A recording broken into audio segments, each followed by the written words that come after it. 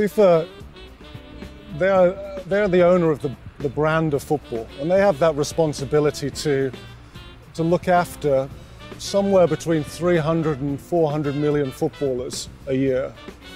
Football's a safe game, but for us as a FIFA Medical Centre of Excellence, what we have to do is we have to help FIFA educate those how to use football for health, but also to help those that are injured through football and through other sports, but to use football as that medium for exercise, health, and helping people to get back to those goals in life.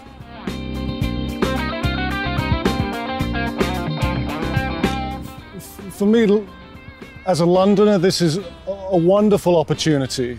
Isokinetic has a rich and long history of providing good care to patients, great patient experience in Italy. London is a, a melting pot of cultures, 204 different nationalities living there. This is the year of the Olympics, this is the year of the Queen's Jubilee.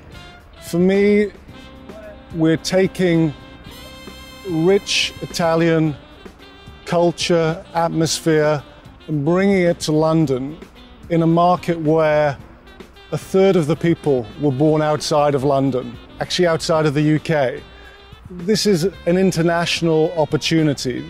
Yes, a challenge, but an opportunity for, for us as a company, but hopefully for the patients that we treat and we see.